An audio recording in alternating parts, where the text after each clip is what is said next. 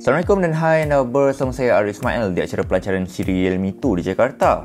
Dan selain daripada Realme 2 Pro yang dilancarkan, pihak Realme turut menawarkan Realme 2 iaitu peranti bajet dengan spesifikasi kelas permulaan.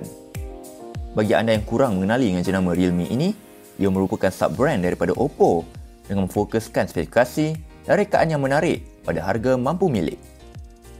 Peranti Realme 2 ini didatangkan dengan skrin 62 inci HD+, chip Snapdragon 450 pilihan memori 3 atau 4 GB RAM dan pilihan storan dalaman 32 dan 64 GB bersama sokongan kad microSD. Ia juga didatangkan dengan sokongan dual kamera 13 dan 2 megapiksel, sokongan kamera hadapan 8 megapiksel dan hadir dengan bateri berkapasiti 4230 mAh.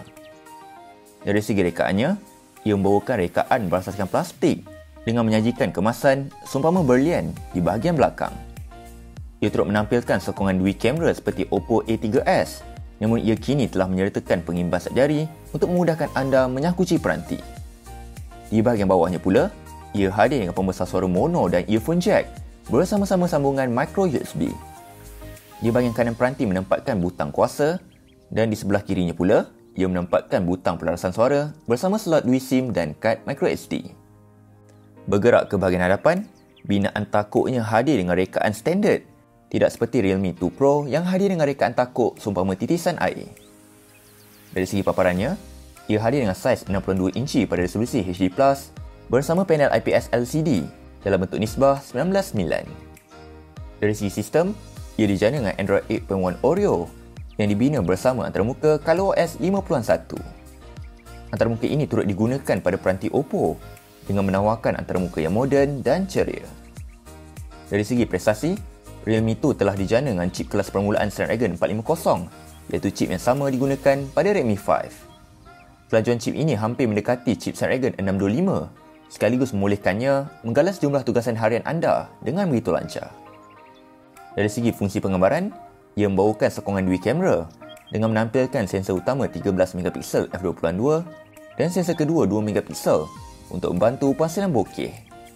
Ia turut menawarkan pengoptimasian Artificial Intelligence AI dengan membolehkan kamera mengenal pasti suatu subjek dan mengoptimasikan warna dan cahaya berdasarkan subjek tersebut. Untuk kamera hadapan, ia menampilkan kamera 8MP yang mana turut membolehkan pengguna menggunakan fungsi portrait mode untuk hasilan bokeh di belakang wajah. Ia juga menyajikan sejumlah stickers untuk membolehkan anda melekatkan animasi menarik pada bahagian wajah anda. Dari segi baterinya pula, ia menawarkan kapasiti bateri yang cukup besar iaitu 4230 mAh yang dijangka dapat memberikan bacaan skrin on time sekitar 7 hingga 8 jam.